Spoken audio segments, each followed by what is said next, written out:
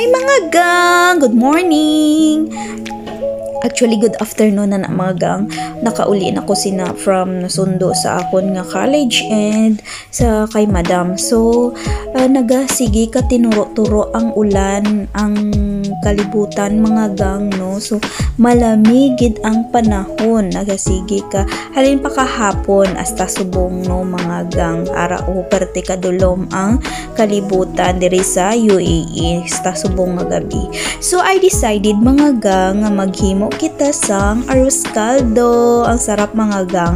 Actually, arroz caldo kita ni siya pero daw nalugaw kay damo na butang ko mga kanon and naubos ang aton nga sabaw. Pero it's okay. Ang importante ang lasa mga gang. Grabe, satisfying gid na siya mga gang as in. So, kay wala kita sang mahimo and malamig ang panahon so naghimo na lang kita sang arroz caldo para sa panya punta mga gang. And satisfied gid ako mga gang nabuso gid kita dira. So mga gang ano ang ginahigop nyo dira kay tag-ulan na? So nagkape na ako for the last uh, touch na sang aton dinner mga gang. And that's it. Thanks for watching